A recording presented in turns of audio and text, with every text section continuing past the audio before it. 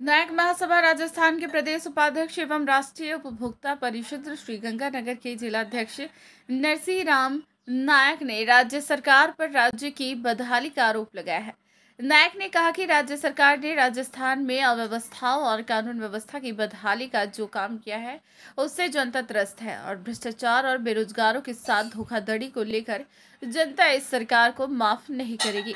नरसी राम नायक गुरुवार को राज्य की राजधानी जयपुर में थे और उन्होंने न्यूज़ फ्लैश से खास बातचीत में कहा कि इस बार चुनाव के परिणाम अप्रत्याशित तो होंगे और जनता इस बदहाली का बदला लेगी। उन्होंने भारतीय जनता पार्टी में विभिन्न नेताओं को अलग अलग फूलों का गुलदस्ता बताया और कहा कि इसकी महक पूरे राजस्थान में महक रही है। आपका परिचय? नमस्कार, मैं नरसिंह राम नायक प्रदेश उपाध्यक्ष अखिल भारतीय नायक महासभा और भारतीय जनता पार्टी का युवा नेता। वर्तमान में पार्टी की स्थिति के बारे में प्रकाश करना वर्तमान में कांग्रेस सरकार का फैला हुआ कुशासन जंगलराज भ्रष्टाचार अपनी चरम सीमा सीमा को भी लांग चुका है। हम लोग जैसे देख रहे हैं आप लोग रोज कवर भी करते हैं। पूरे राजस्थान में हर जगह जन आक्रोश फैला हुआ है रोज महाघेराव होता है। स्थिति राजस्थान में जनता की बड़ी ही दयनीय हो गई है व्यवस्था बहुत खराब है और जनता इस कुशासन को उखाड़ फेंकने को तत्पर है बस चुनाव का इंतज़ार में आप तो जनता के ऊपर डाल आप क्या करना चाहेंगे इसके बारे में? जी। हम लोग पार्टी स्तर की बात करूँ मैं भारतीय जनता पार्टी का एक निम्न स्तर का कार्यकर्ता हूँ नीचे धरातल में रहता हूँ देखता हूँ। भारतीय जनता पार्टी माननीय नरेंद्र मोदी जी के नेतृत्व में अत्यंत सशक्त रूप से काम कर रही है राजस्थान में। और हम लोग राजस्थान में जितने भी हमारे नेतागण हैं सब लोग मिलके हम लोग काम कर रहे हैं। अलग अलग फूल मिलके एक गुलदस्ता तैयार कर रहे हैं और उस, उस गुलदस्ते की महक आने वाले चुनाव में बिल्कुल जनता के बीच महकाएँगे ऐसा मेरा कहना है। और आप कौन से विधानसभा मैं अनूपगढ़ विधानसभा क्षेत्र से आता हूँ। जो कि पाकिस्तान बॉर्डर पे हम लोग निवास करते हैं।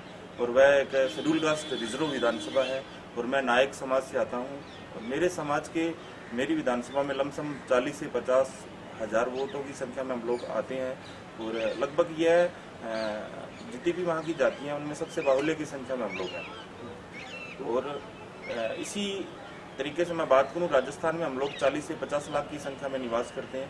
और जैसे पार्टी स्तर का पार्टी स्तर की बात करूँ तो हमें मेरा ऐसा कहना भी रहेगा कि हमें राजस्थान में नेतृत्व का मौका दिया जाए। अच्छा आपको नेतृत्व की कमान दी है तो आप इसके लिए क्या बेस्ट टू बेस्ट और अपने के लिए क्या करना चाहेंगे? बिल्कुल जैसे अभी भी हम लोग काम करते हैं, दरादल से जुड़ के रहते हैं, विधानसभा में जगह जगह घूमते हैं और मैं प्रदेश उपाध्यक्ष का नेतृत्व मेरे पास है तो मैं राजस्थान में भी घूमता हूँ और मैं चाहूँगा अगर मुझे मौका दिया जाता है तो शिक्षा पे मेरा पूर्णता फोकस रहेगा। इसी के साथ समाज के उत्थान में काम करने का मैं प्रयास भी करूँगा और सर्व समाज को साथ लेके जो ये मतलब जिन जो कमियाँ आज तक रही है, उनका सुधार करने का मैं प्रयास पूर्णता पूर्णता से करूँगा। एक जो सबकी बारे में समस्या आती है महँगाई छोड़ो, एक बार भूल जाते हैं।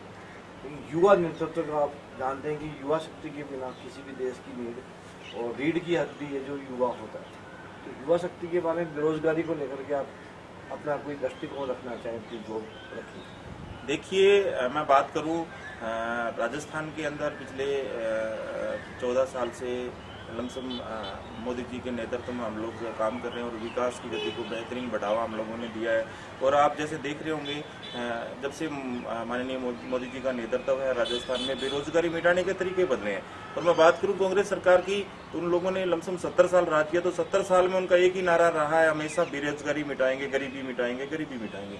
आज भी आप लोग देख रहे होंगे, आज भी वो गरीबी मिटाने के नाम पे ही प्रपंच करते हैं और वोट बटोरने का प्रयास करते हैं, परंतु जनता आप समझ चुकी है जनता बहुत आगे बढ़ चुकी है। अब इन डकोसलों में जनता आने वाली नहीं है और बेरोजगारी अगर भारत में खत्म हो सकती है तो उसके तरीके बदलने पड़ेंगे हम लोगों को।